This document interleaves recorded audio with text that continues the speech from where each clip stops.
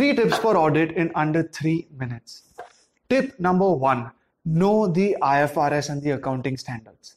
Now, auditing is essentially checking the financial statements of, of, of clients of other companies and the financial statements comprise of accounting standards which means you cannot audit unless you know the accounting standards so if you've given the audit paper before the financial reporting paper make sure that you know all the accounting standards with their with the, the entire name as well as the what the accounting standards actually comprise of because without that you will not be able to score in the audit paper.